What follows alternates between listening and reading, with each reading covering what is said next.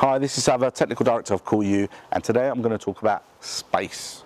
Not the salt up there, but the salt in your apartment. Many people may consider air conditioning and they've come to the road where they know they can't choose a conventional system and a fully internal solution is the right choice, but they simply, they live in a small apartment and they think they don't have space.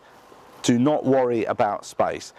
The key behind what we do and the vast experience we have is we will find somewhere to put the components that are required to do the job. Typically, but not limited to, we, we have found solutions for components to be put under a kitchen sink, in a kitchen corner cabinet, um, in a utility room, suspended from high level, in a walk-in wardrobe area. There, there, are so many options available, but this is where you'll benefit from our uh, free site survey because I will come along and tell you exactly where things will go. We have been doing this for so many years now and we have come up with hundreds and hundreds of solutions and every solution is different from the other. So as long as you've looked through our website, bought into what we do, looked at the price point and it fits within your budget, the next stage is to have a free site survey and I will find a space and I will make a system that will work for you and cool your space beautifully.